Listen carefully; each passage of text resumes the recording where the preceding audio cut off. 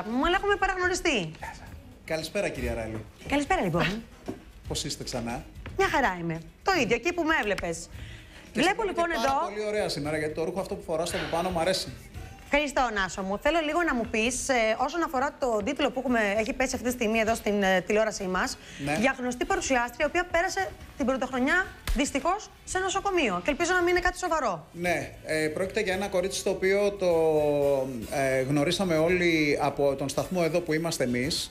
Ε, όταν ε, το Star νομίζω 1994-1995 ήταν στο κομμάτι του ενημερωτικού του Star και έλεγε δελτία ειδήσεων και αναφέρομαι βεβαίως στην Ίνα την Ταράντου η οποία είναι εδώ και περίπου δύο μήνες ε, αφού έκανε τον κύκλο του στην ενημέρωση κάποια στιγμή ε, τα άφησε όλα πίσω για να δημιουργήσει μια υπέροχη οικογένεια που έχει δημιουργήσει και τώρα πια που έχουν μπει κάποια πράγματα ξέρεις, ε, στον σωστό δρόμο με τα παιδιά της αποφάσισε να επιστρέψει. Επέστρεψε λοιπόν στην ΕΡ3 κάνοντας ε, ένα ντοκιμαντέρ που φέρει τον τίτλο του Νερού τα παραμύθια και στο πλαίσιο των Πολύ ωραία γυρισμάτων εκπομπή. είναι εξαιρετική εκπομπή παιδιά, Ε, σε ταξιδεύει ειδικά για μας που ζούμε σε μεγάλα αστικά κέντρα και δεν έχουμε τη δυνατότητα την πολυτέλεια να βγαίνουμε ε, γρήγορα ή εύκολα στην περιφέρεια.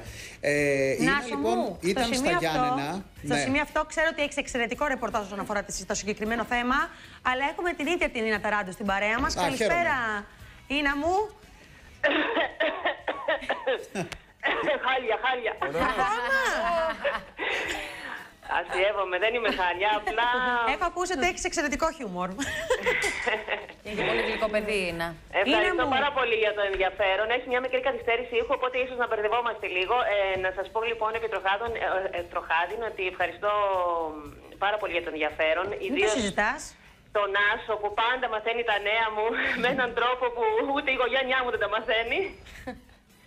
Ε, και πραγματικά είχα πάει για γυρίσματα στα Γιάννενα και ήθελα να το παίξω Αμαζόνα. Ανέβηκα στα άλογα και πήγα στο βοηδομάτι. Ε, οπότε και είχε πάρα πολύ κρύο. Εκτέθηκα πολλές ώρες ε, στο, στην παγωνιά και στο κρύο. Ωραία ήταν βέβαια πάρα πολύ.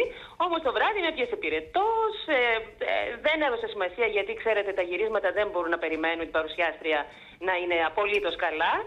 Ε, και την επόμενη μέρα πάλι πήγα μ, να κάνω ένα επιρώτικο γλέντι μαζί με τον Τάσο Τονούση, τον ηθοποιό που βρήκαμε εκεί και ξέρετε είναι Γιαννιώτης και μας περιγράφει περίφημα τα Γιάννενα. Και εκεί στα Και Τσίπρα μετά έρχεται το γλέντι πνευμονία. έτυχα στο νοσοκομείο. Ναι, ναι, ναι. ναι, Πω, ναι. πω, πω, Με πω, πνευμονία; Με πνευμονία. Η οποία, ναι, πνευμονία, παιδιά, δεν έδωσε σημασία. Είχα ένα φοβερό πόνο στο στήθο και αυτό με προβλημάτισε. Λέω, αχ, λες να είναι καρδιά.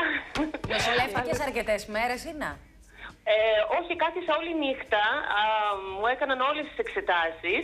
Ε, ήμουν πολύ μακριά βέβαια, στα Γιάννενα, μακριά από την οικογένειά μου και έτσι Αυτό θέλεις είναι την το- άλλη μέρα το πρωί να φύγω και να άρον-άρον, ας πούμε, και να γυρίσω στο σπίτι. Ε, ακόμα και σήμερα, πόσες μέρες μετά, είναι μαντιβίωση, να θέλω να σας πω. Είναι Ίνα αυτό το... μου, Ναι. την πρωτοχρονιά ήσουν στο νοσοκομείο; Το βράδυ, πρώτη με δύο.